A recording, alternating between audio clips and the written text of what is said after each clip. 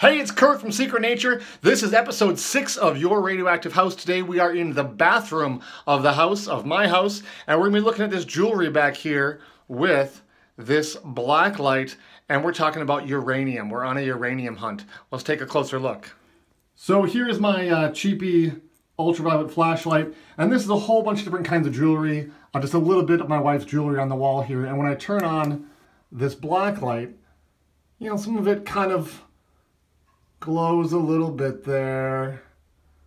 When I come down here though, take a look at these glass beads on this necklace. It is actually kind of overloading uh, the camera. These are glowing a beautiful green uh, in real life, but man, the camera just completely overloads. And you can see how brightly that one starts to glow, and this one. That's not going to happen with a regular flashlight.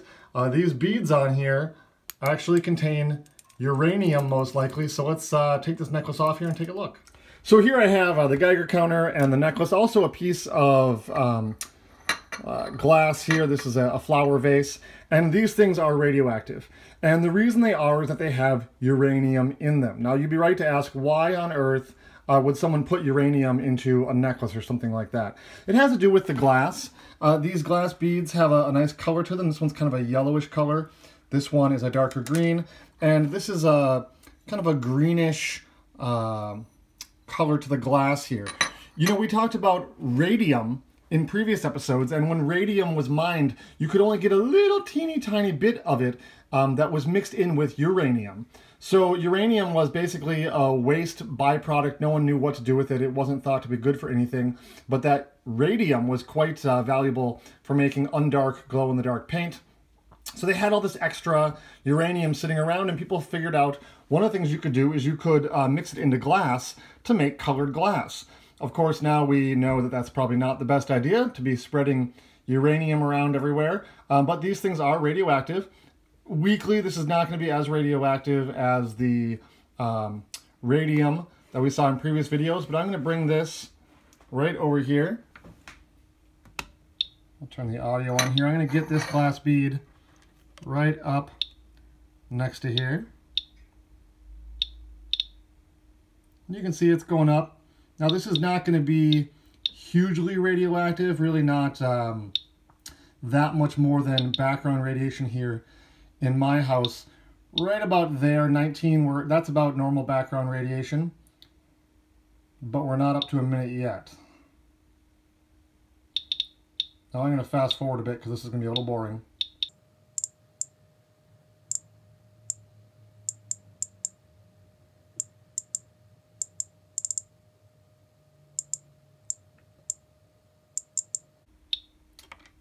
Okay, so for this lighter color bead, I came in at about uh, 56 counts per minute.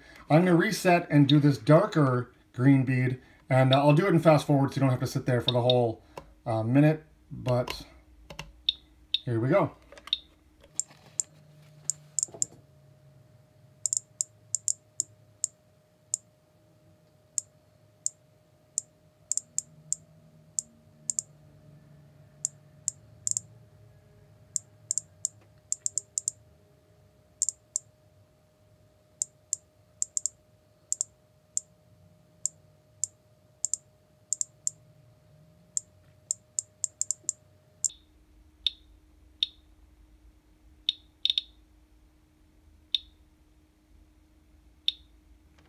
Okay, so this uh, darker bead clocked in at uh, about 75 counts per, minute. So more than the lighter one. There's probably more uranium in here uh, to give it more of that green color.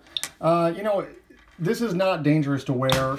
Uh, there are places here on Earth uh, where the background radiation is this high to your entire body. This is one small spot on your body. Getting that for a couple hours, it, it's not really going to matter. but this is an interesting piece. my mom gave this to my wife as a gift. Uh, she picked it up at uh, some sort of craft fair or something uh, down in New Orleans. Um, and she believed that this was um, African in origin. These beads do look uh, like they were hand cut, possibly from some larger pieces of glass. So it could be some old glass that was recycled into these beads. That could be where that came from. Let's take a look at this here uh, and get a count on this flower vase. And again, I'm to fast forward this. I'll get kind of the thickest part of the glass right here. This is not super strongly radioactive, but we'll definitely can tell that there is uranium in here. Let's speed it up.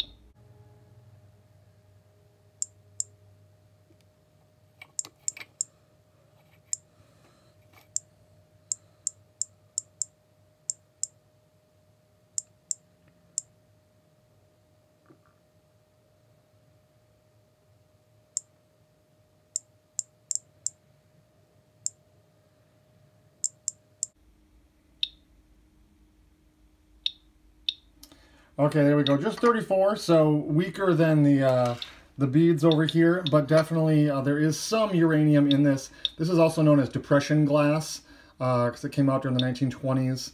Uh, they had products like these, which had some uranium in the glass there. We're also going to be taking a look at um, uranium glazes in the next episode, so we'll see how those can actually have uh, much higher levels of uranium in them than this uranium glass does. Thanks for watching. You can click the Secret Nature button in the middle there to subscribe to this channel and receive more content. You can also click on one of the playlists on the left or right for more from Secret Nature. Thanks for liking, commenting, and subscribing.